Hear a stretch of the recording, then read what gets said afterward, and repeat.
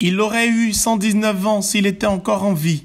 Le 18 octobre 1905 marque la naissance de Félix Houphouët-Boigny, une figure incontournable de l'histoire de la Côte d'Ivoire et du continent africain.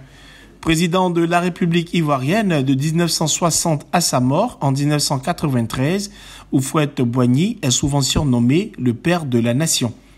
Son mandat a été marqué par une stabilité relative et une prospérité économique qui lui ont valu la reconnaissance sur le plan international, notamment pour sa politique de dialogue et de coopération pacifique. En ce 18 octobre, nous nous souvenons de la naissance d'un homme dont l'influence a marqué non seulement la Côte d'Ivoire, mais aussi l'histoire de l'Afrique post-coloniale.